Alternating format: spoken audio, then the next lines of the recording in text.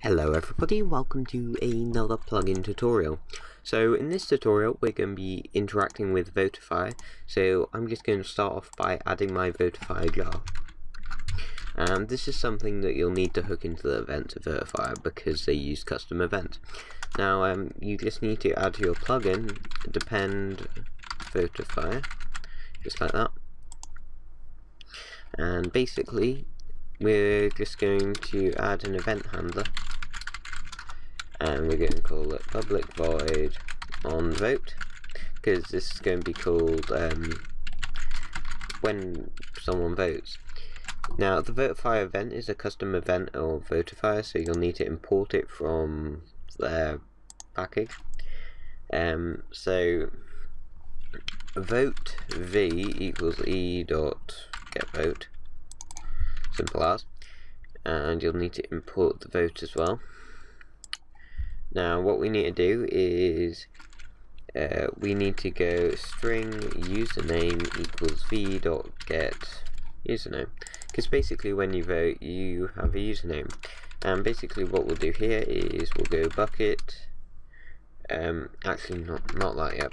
We'll go if username doesn't equal null and and uh, username uh, dot length. If it's bigger than zero. Well actually it should technically be three but we're just going to leave it like that. Else here this means they didn't put a username sad face but if they're here, we need to check if they're online. So we'll just do if Bukkit.get player exact because you have to type your exact name in. And then we'll put username. Doesn't equal null. This means they're online because if they're not online it will return null. Uh,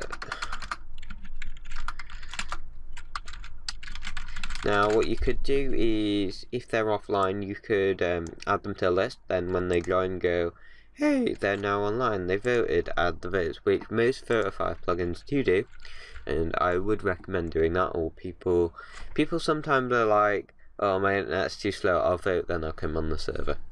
Um, but anyway, so now what we can do here is we can go, uh, copy this, and go player P equals that.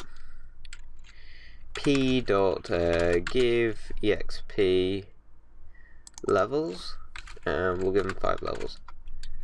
Uh, p send message and we'll just send them a message in blue. Or aqua because it's a nice color. Thanks for voting mate.